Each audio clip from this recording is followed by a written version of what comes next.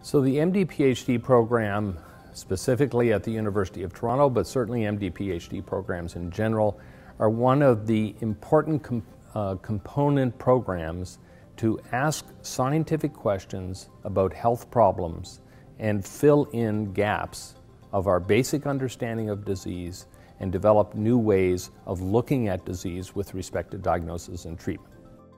Why is this so important? What MD, PhD students really are are people who are studying clinical medicine.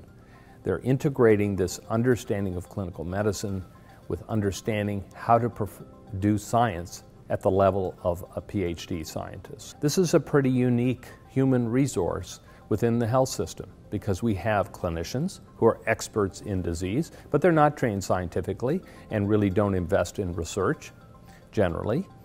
Then we have scientists, people who are highly uh, able with, in a whole range of the sciences in health, in health research. But these people don't have the clinical training, so they're not as aware of the clinical context in all its nuance, from causation to how to treat to diagnostic issues. So they don't, they don't bring that to the table. But the people who are bilingual, whether they be trained in MD, PhD programs or are trained as postgraduates and really do the same thing but get their scientific training later, they are the bilingual ones who bring this unique combination of knowledge and skills to the table and, and have been shown historically to make a very important contribution to knowledge generation and uh, new treatments in the health sphere.